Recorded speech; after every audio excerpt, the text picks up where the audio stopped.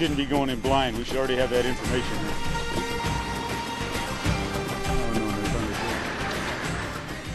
We have something like uh, 30 expatriates and uh, 350 Algerians.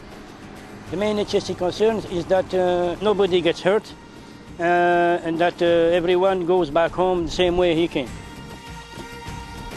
And the problem, of course, is keeping that many people fed and comfortable and warm and dry and just getting water supply, food supply. It's quite remote. We've got to truck the water 250 kilometres, 120 of which is across a really rough desert track. And a truck can make a round trip in a day if you're lucky. Anything can go wrong here from the uh, electricity supply, we can have disk problem, data problem, anything, and we, we are here to try to solve them on a real-time basis.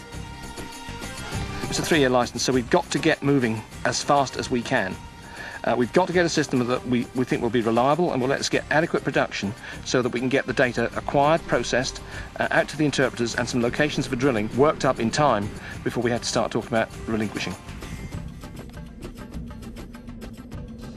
In 2005, BP was awarded the exploration rights for three vast blocks south of the In Amenas gas field in the Algerian Sahara. This is punishing terrain, and the exploration license stipulates that six wells must be planned and drilled in only three years.